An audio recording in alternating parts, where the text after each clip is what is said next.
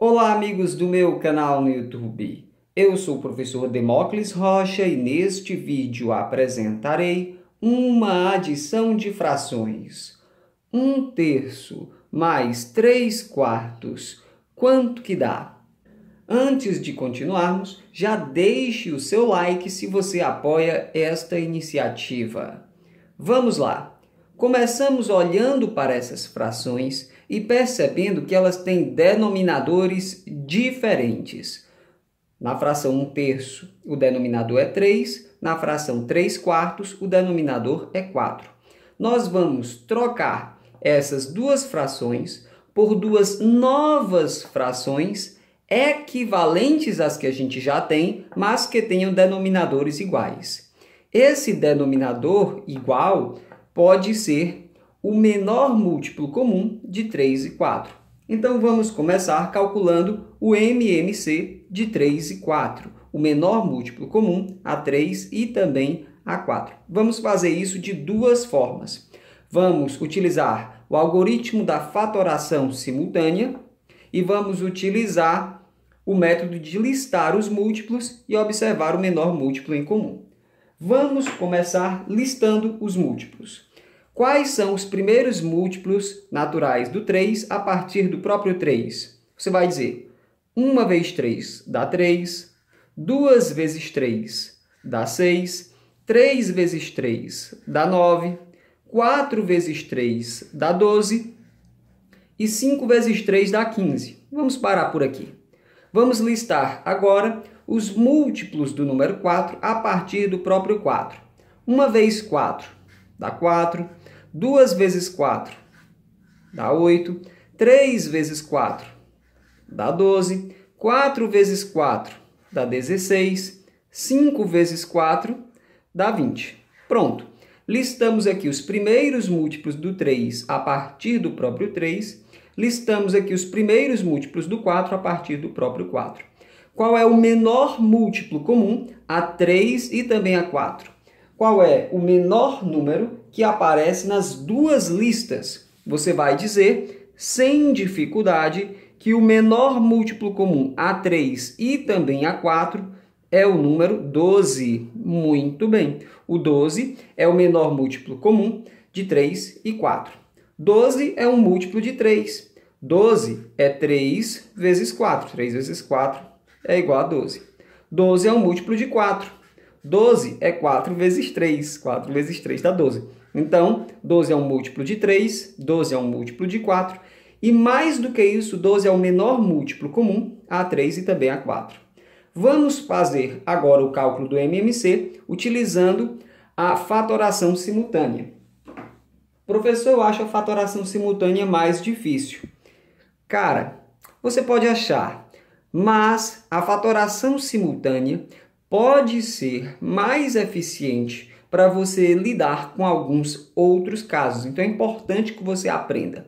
Nem sempre é conveniente, nem sempre é bom, nem sempre é fácil sair listando os múltiplos de cada um dos números para depois observar o menor múltiplo comum. Nem sempre é mais fácil fazer assim. Então, aprenda também a fatoração simultânea, tá? Bom, como é que a gente usa o método da fatoração simultânea em fatores primos? A gente observa a divisibilidade dos números que a gente tem, no caso 3 e 4, tá certo? Pelos primeiros números primos naturais. Qual que é o primeiro número primo natural? É o 2. Algum desses números é divisível por 2? Sim, o 4 é. Então a gente escreve 2 na coluna da direita. Como 3 não é divisível por 2, a gente apenas repete. Quanto que dá 4 dividido por 2? Dá 2. Então escrevemos 2 abaixo do 4. Agora a gente olha para esses números, 3 e 2. Algum deles é divisível por 2? Sim, o 2 é divisível por 2. Então a gente escreve 2 na coluna da direita. Como 3 não é divisível por 2, nós apenas o repetimos. Quanto que dá 2 dividido para 2? Dá 1. A gente escreve 1 abaixo do 2. Temos agora os números 3 e 1. Nenhum deles é divisível por 2. O próximo número primo é o 3. Algum desses é divisível por 3? Sim, o 3 é divisível por 3. Então escrevemos 3 na coluna da direita. Como 3 dividido por 3 dá 1, escrevemos 1 abaixo do 3. Como 1 não é divisível por 3, nós apenas o repetimos. Pronto, essa parte acabou, porque no pé de cada coluna da esquerda obtivemos o número 1. Agora, o que é que a gente faz, professor? A gente multiplica os números primos que apareceram na coluna da direita. Então a gente vai multiplicar 2 vezes 2 vezes 3. Observe. 2 vezes 2 é 4. E 4 vezes 3, quanto que dá? 4 vezes 3 dá 12. O que que isso significa? Isso significa que o menor múltiplo comum de 3 e 4 é realmente o número 12, como a gente já tinha observado aqui, é o número 12. Professor, por que, que o senhor fez das duas formas? É interessante que você saiba fazer das duas formas. Você pode aplicar a forma que for mais fácil para você naquele momento. O menor múltiplo comum de 3 e 4 é o número 12. Então, para que, que a gente calculou esse menor múltiplo comum? Ele pode ser utilizado como o novo denominador de duas frações que serão equivalentes às frações que a gente já tem. Então, eu vou trocar essa fração por uma fração com denominador 12, vou trocar essa fração por uma fração com denominador 12. Então, elas têm denominadores iguais. Professor, fica faltando o numerador. Eu sei, é isso que a gente vai determinar agora. O 3 foi transformado num 12 na nova fração. Ele foi multiplicado por quanto? 3 vezes quanto que dá 12? Você pensa um pouco e vai me dizer que 3 vezes 4 que dá 12. Então, esse 3 foi multiplicado por 4. Para obter o novo numerador, a gente também vai multiplicar em cima por 4. É desse jeito. O número que você multiplica embaixo é o mesmo número que você multiplica em cima para obter a fração equivalente. Aí eu te pergunto, quanto que dá? 1 vezes 4. 1 vezes 4 dá 4.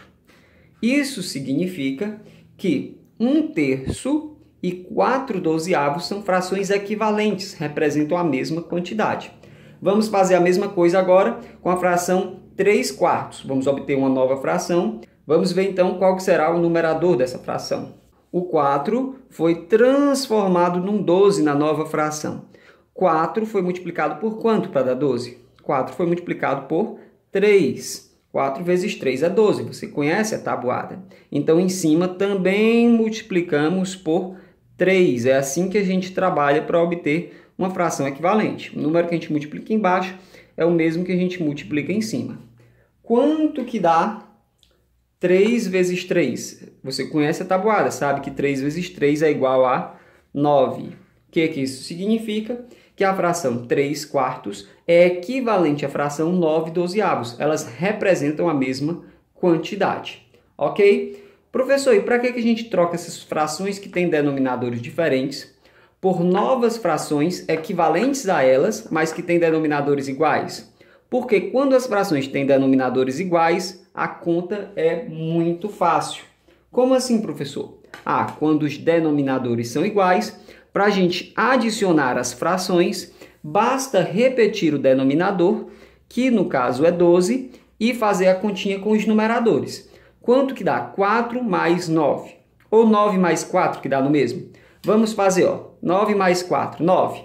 10, 11, 12, 13. Então, 9 mais 4 é igual a 13. O numerador do resultado é o número 13. A resposta é 13 dozeavos. Um terço mais 3 quartos, quanto que dá? Dá 13 dozeavos. Se você gostou deste vídeo, clique em gostei. Deixe um comentário com uma carinha sorrindo se você entendeu tudo direitinho. A gente fica por aqui. Um abraço e até a próxima. Tchau!